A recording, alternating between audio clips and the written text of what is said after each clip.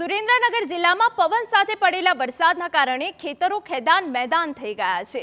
વરસાદ અને પવનના કારણે ઉનાળુ પાકમાં ભારે નુકસાન થયું છે. બાજરી, તલ સહિતના ઉનાળુ પાકનો સોથ વળી ગયો છે. ભારે પવનના કારણે ખેતરમાં તલનો પાક આડો પડી ગયો છે. તો બીજી તરફ લીંબુ, દાડમ, સરગવા જેવા બાગાયતી પાકોમાં પણ ભારે નુકસાન વેઠવાનો વારો આવ્યો છે. ખેડૂતોની વર્ષભરની મહેનત પર વરસાદે પાણી ફેરવી દીધું છે. સુરેન્દ્રનગર જિલ્લાના મૂડી થાન અને વટવાણ પંથકમાં વરસાદના કારણે સૌથી વધુ નુકસાન થયું છે.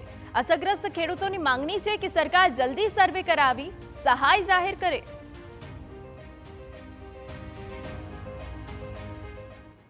મહદ અંશે ખેડૂતોના તલ.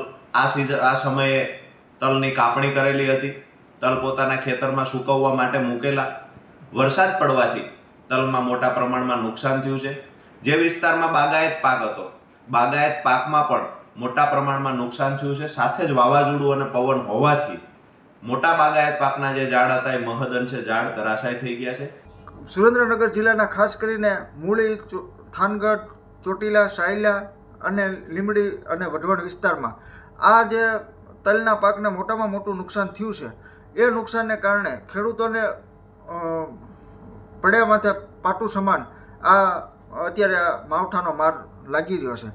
ત્યારે સરકારશ્રીને અમારી વિનંતી છે કે તાત્કાલિક આ બાબતનું સર્વે કરી અને ખેડૂતોને વળતર ચૂકવવા માટે થઈ અને એની પ્રક્રિયા અને સર્વેની કામગીરી તાત્કાલિક ચાલુ કરવામાં આવે.